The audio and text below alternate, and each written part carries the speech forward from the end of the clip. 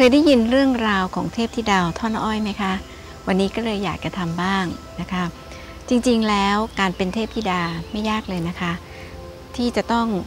มีกายวาจาใจที่สะอาดนะแล้วก็ทำบุญโดยสม่ำเสมอ ก็สามารถที่จะเป็นเทพธิดาไปอยู่ชั้นดาวดึงได้ อันนี้ข้อความปรากฏอยู่ในอุณุปปพิกถา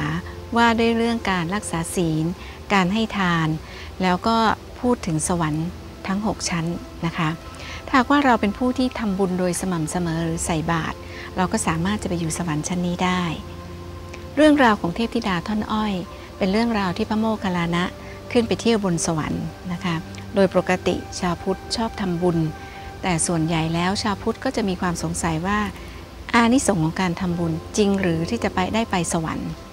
พระโมคคัลลานะจึงชอบท่องสวรรค์ และเมื่อนำเรื่องราวมาเล่าให้พุทธบริษัทสี่ฟัง ก็จะมีพระพุทธเจ้าเป็นผู้รับรองนะคะ เรื่องราวเทพธิดาท่อนอ้อย ก็เช่นเดียวกับเรื่องราวของเทพธิดาดอกบวบที่เคยเล่าให้ฟังแล้วนะคะคือ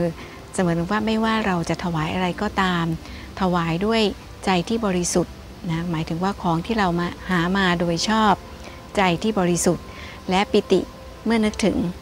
การที่พระโมคคัลลานะเล่าเรื่อง ชาวฟ้าชาวสวรรค์ให้ฟัง เป็นการสร้างความปิติของผู้ที่ได้ทำบุญ หรือถวายทานในพุทธศาสนาแล้วนะคะ คือความตั้งใจของเทพธิดาท่านนี้ อยากจะถวายอ้อย และได้ไปถวายสมความปรารถนา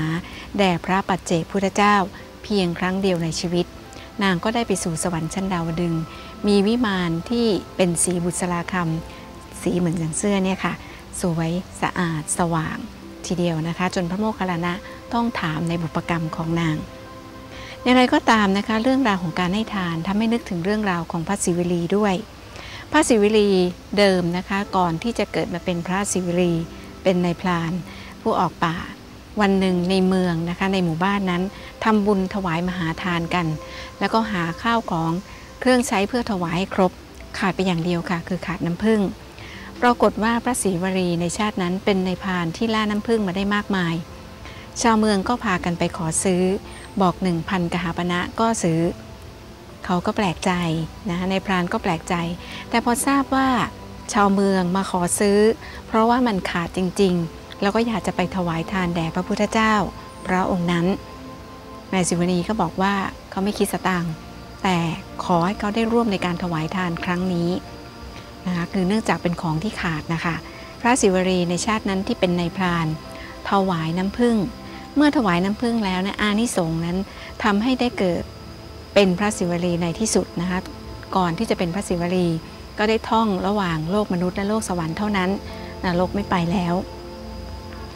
หลังจากนั้นก็ได้ขึ้นชื่อว่าเป็นพระมหาลาภ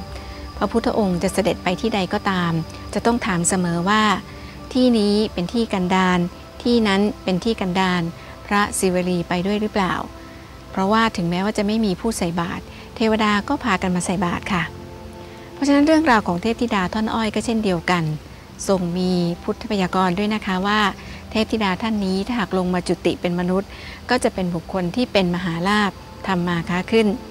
ดุดดั่งเช่น พระศิวลีที่เราเคารพนับถือนะคะว่าเป็นเลิศในทางมหาลาภ ดังนั้นการไปใส่บาตรทำบุญเนี่ยนะคะ บางครั้งเราอาจจะไม่จำเป็นว่าต้องเป็นข้าว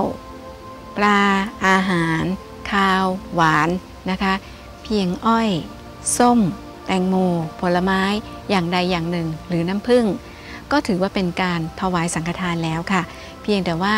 เราจะต้องบริสุทธิ์นะมีบูรพาเจตนาในขณะที่ก่อนถวาย